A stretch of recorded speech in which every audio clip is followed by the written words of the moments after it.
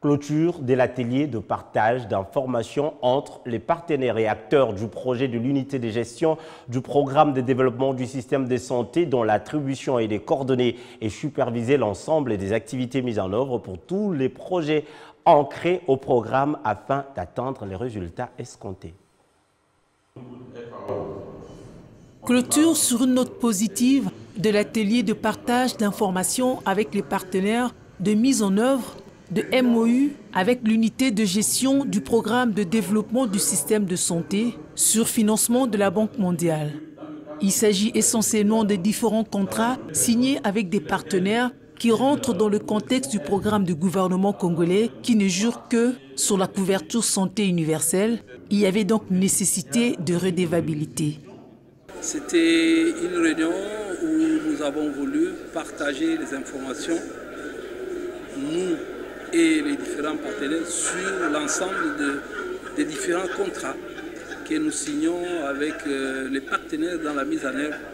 de projets euh, gérés par euh. C'est pour assurer plus de coordination d'une part, mais beaucoup plus pour plus de redévabilité, parce qu'il faut rappeler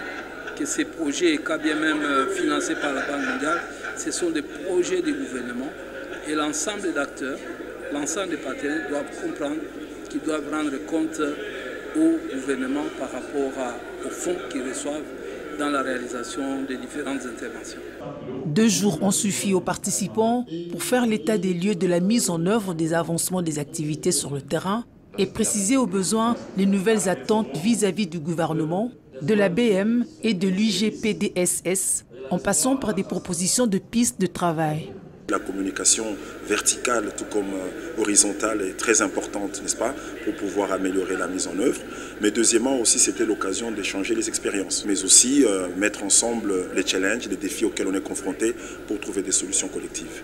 cet atelier nous a permis de connaître les autres partenaires, mais aussi euh, de partager sur le travail et de voir dans quelle mesure on peut créer une bonne synergie pour pouvoir, je dirais, mieux servir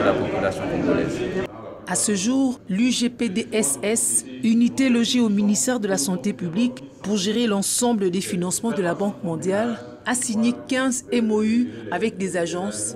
pour un montant de plus de 280 millions de dollars américains, ainsi qu'avec d'autres partenaires de mise en œuvre. Cet atelier qui se clôture était le premier. Il a eu le mérite de permettre des échanges et de partage d'informations avec toutes les parties prenantes de mise en œuvre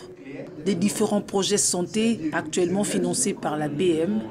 en vue d'une symétrie d'information, une harmonisation et une gestion efficiente des ressources allouées.